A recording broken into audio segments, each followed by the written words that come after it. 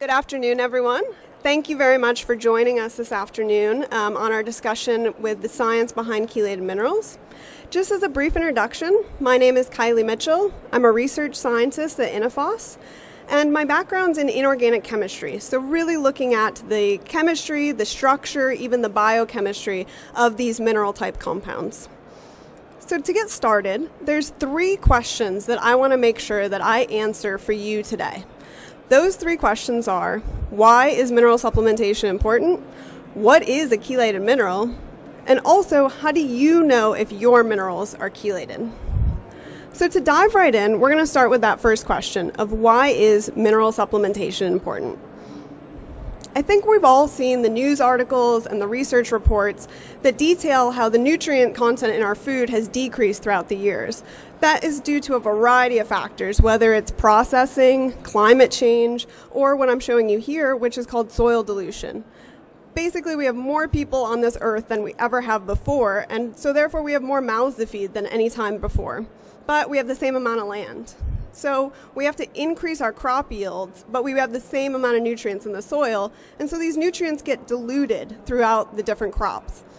Also, I think it's no secret that uh, while we all strive to get a balanced diet, very few of us do. Actually, less than 15% of us actually achieve that balanced diet. So, across the board, there's true nutrient deficiencies, especially in the area of these minerals, which are important micronutrients. As health conscious consumers become aware of these deficiencies, they truly turn towards supplementation to fill these gaps. And for good reason. Minerals play an essential role in numerous bodily functions. We're all familiar with the benefits of calcium in bone health and teeth formation. Maybe less familiar to some might be selenium for its antioxidant properties. Chromium has some great insulin function properties, Iron's important for red blood cell formation and for reproduction. Zinc is great in immune function, and magnesium has a host of new and exciting research behind it in the areas of cognitive health, heart health, blood pressure regulation, nervous system function. Really, magnesium has a lot of new and exciting research and is a fantastic mineral to look into. Really, when we think about supplementing, consumers clearly understand the importance of these nutrient gaps and making sure to fill those gaps. And that's reflected in a healthy market growth for the minerals market. As you can see, it's growing at about 7% annually. If we break that down by mineral, we see that calcium still owns the market at 38%. But the really interesting one here is magnesium, which is growing at 14% annually, twice that of the market. And that's for a variety of reasons I mentioned on the previous slide, in that there's a lot of new research surrounding magnesium. However, if we look at really the pulse of the market, this is another situation where I think we've all seen the news articles and the research reports that really focus in on bioavailability of supplements. This is what consumers are talking about. You even see articles that talk about are, are these supplements just very expensive urine, right? So that's where we want to make sure that the products that we're supplying are bioavailable for the consumer and they can find the value in supplementing and getting those nutrient gaps fulfilled. That's where then we have to consider that, you know, not all minerals are created equally. So if we think, okay, we're going to have a supplement and we want to include minerals in that supplement, magnesium would be a great candidate because of the fantastic growth rate that I showed and because of all the fantastic health benefits it has as well. So we decide, okay, let's add magnesium to our formulation. The question then is what source, right? Are we going to use magnesium oxide that does have some good benefits, such as the high magnesium potency and the low cost, but also has some drawbacks in the low and the inferior absorption and the metallic taste. Whereas something like magnesium bisglycinate, a chelated form of these minerals, brings a lot, a lot of benefits and could be what we use for our supplementation. Magnesium bisglycinate has increased bioavailability, greater stability, enhanced solubility, better digestibility so you don't have that nauseous feeling uh, when taking these types of supplements improved taste, and a positive safety profile. So this is where if we're looking at adding magnesium to a formula, a chelated source of magnesium is, is really a good way to go. So when I keep saying this word, you know, chelated, chelated minerals, for those that are unfamiliar in the audience, we want to answer the question just what is a chelated mineral? So chelate comes from the Greek word chele, meaning claw.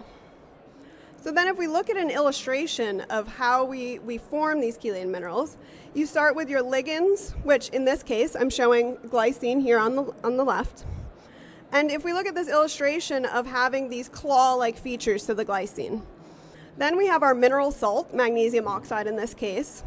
And then if we react those to form a chelated mineral, what we have is we can see, I'm sorry, let me go on this side. we can see the nitrogen from glycine and the oxygen from glycine are really grabbing onto that magnesium like a claw in bo- on both sides of the magnesium. It's really, you know, clipping on and grabbing on like a claw. And that helps, that helps uh, create this protective shell. And this protective shell really has a stabilizing effect that brings about all of those benefits that we spoke about on the previous slide for these chelated minerals. Then the question becomes okay, great, we want to add this to our formulation, but how do I know that the product that I'm getting is chelated? In this industry, a lot of these samples are white powders, right? So we look at the samples, sample A, sample B, and sample C, and they look identical. They're, they look the same. So then we could say, okay, well, let's, let's at least check the magnesium potency. Let's see if that can reveal to us the differences between these samples. If we check the magnesium potency, we can see that across the board it's 11.7% magnesium. And that's typically what we see on the C of A, on the certificate of analysis. If you looked at sample A, you would look at the C of A, it would say 11.7% magnesium. Looked at sample C, same thing. You'd see 11.7%. So would we say, okay, well these samples are the same. Then, you know, we could just combine these, we're, it, they're the same. But that's not always the case. And so if we use the illustration from the previous slide, what I'm showing you is that sample A might be our fully bound, our, our chelated source of magnesium glycinate with that nice protective shell around it. Sample B might be a 50% reacted material that has some fully reacted chelated material, but also some unreacted magnesium oxide and glycine. And then sample C might just be a dry blend of magnesium oxide and glycine at the right ratio to get you to 11.7% magnesium. So how would we know the difference between these three samples? That's when many in the industry turn to FTIR, or Fourier Transform Infrared Spectroscopy. However, though, this does not offer conclusive proof of chelation. I'm showing you the three FTIR spectra for those three samples on the previous slide. From just looking at these, would you know which one's chelated? It's a tough call. Would it be the top one because it looks different than the other two? Which one is it? So if we reveal which one is the truly chelated, it is the middle one. That is sample A. However, if your supplier is using sample B as their standard FTIR, then if they're comparing for lot to lot analysis, they might just be making a consistent product, but it might not be the right product. And that's where we have to involve other techniques to show that we're actually making the right product that supports that FTIR spectrum, the middle one here, as sample A being the fully chelated product. So really at Innophos, how we look at this is if you have two fingerprints, right? When you look at them from a distance, they look really similar. You could even argue they're the same. But only once you start doing some in-depth analysis, when you actually compare the fingerprint pattern, when you actually have some other fingerprints to look at side by side, can you start to see the differences between these. And so that's where we've developed a three-step process to prove chelation. The first step in this process is called X-ray diffraction. This actually confirms the structure of the compound. Second, we do use Fourier transform infrared. It's a great technique, but it just needs to be applied properly. And then finally, we use thermogravimetric analysis, or TGA, to confirm the purity of the product. So if we walk through an example, if we look at our sample A, right, this is the one that we know is our fully bound, fully chelated material. The reason we know this is because we can look at the crystal structure, um, which I'm showing you over here on the, on the left, where you can see this is, this is not just a, a nice computer drawing, this is actual data that is generated from actually looking at the positions of the atoms. So what we can see here is that the magnesium sits in the middle, And then we can clearly see the oxygen of one glycine ligand and the nitrogen of another glycine ligand here. The oxygen and the nitrogen are actually coordinated to that magnesium ion. So they actually are clipped on and grabbing it like a claw. From there, we can then get a fingerprint that can help us identify when that situation is occurring. So that's what you're looking at on the right. This is called a powder X-ray diffraction pattern.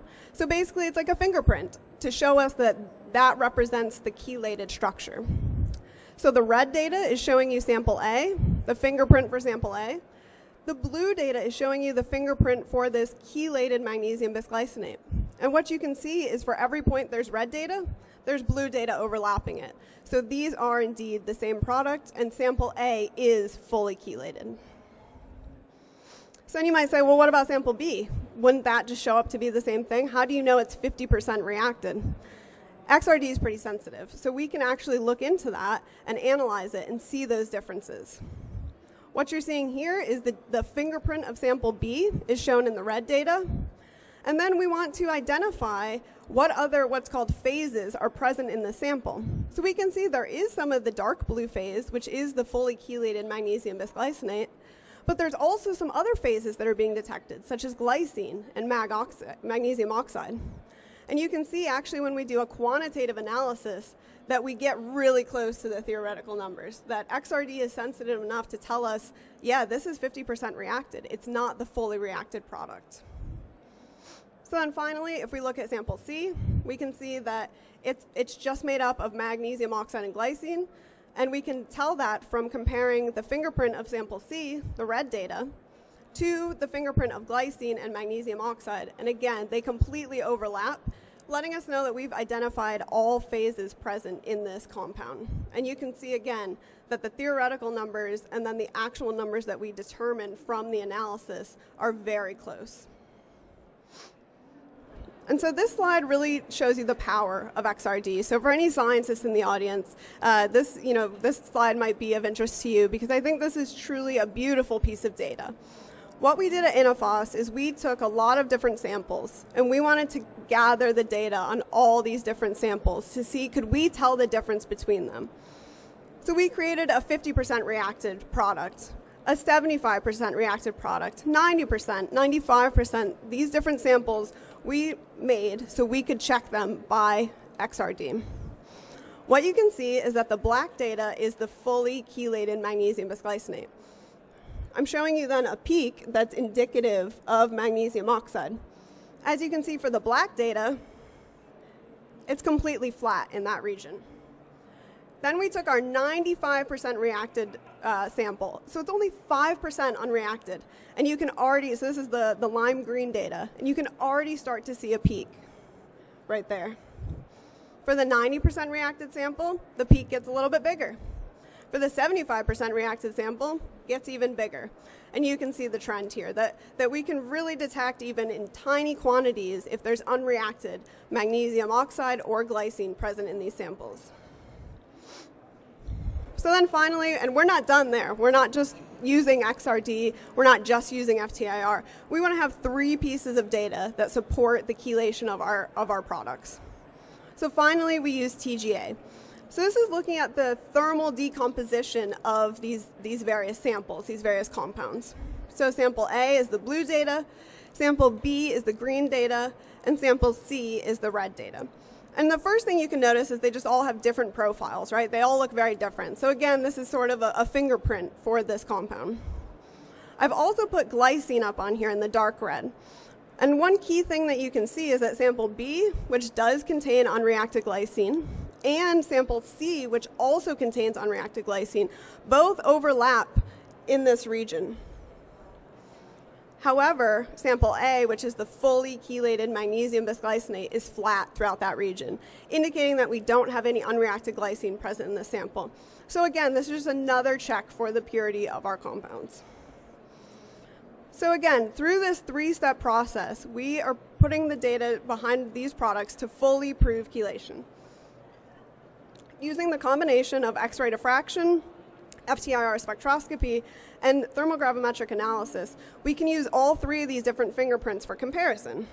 So just to show you across the board what that looks like, if we have sample A, which is our fully bound, our reacted product, and again sample B on the bottom, which is our 50% reacted, we can compare the data for all three of these. We can look at the XRD, and those patterns are different for those two samples. We can look at the FTIR. Those patterns are different for those two samples. And then finally, the TGA, and again, we can see the difference. Only at this point would we then make the conclusion that the FTIR at the top of the screen, this one here, represents the fully chelated structure. So now we have additional data supporting that. So when we do a lot to lot comparison using that FTIR spectrum, we can be confident that it is the fully chelated product. So Innophos has carried out this three-step method uh, for chelation on our Chelamax chelated minerals product line. As you can see, we have seven products in this line. We have two in the calcium family, two in magnesium, two in zinc, and one chromium. if there's time today, I'd be happy to answer any, any questions. Um, but if there's not any time, I will be, or if we don't get to your question in this form, I will be at our booth um, at 2758 to answer questions. I'd be happy to talk about anything that we discussed here today in terms of the data and also about our Chelamax product line. Thank you very much for your attention and your time. And if there is some time, I'll take any questions. So the question has to do with the absorption of the chelated minerals versus the absorption of, you know, just our, our general oxide materials like our magnesium oxides, zinc oxides. And this is, of course, you know, one of the key questions in this area. When you look at the absorption of magnesium oxide, that's been shown to be as low as, as 30% um, that's absorbed readily by the body.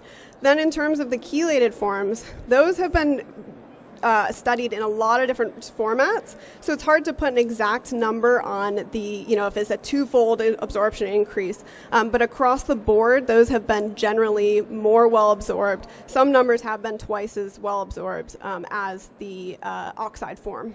So the absorption occurs in, in the small intestine. Um, and so this is where the, the, there's a pH difference between our stomachs and the small intestine.